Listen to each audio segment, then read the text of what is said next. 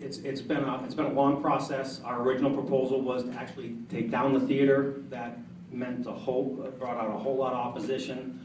We went back with the city, we reconnoitered our plan, and uh, we figured out a way to still make it economically feasible to lease space in downtown Troy while uh, putting quite a few dollars into stabilizing the theater and saving it for the future.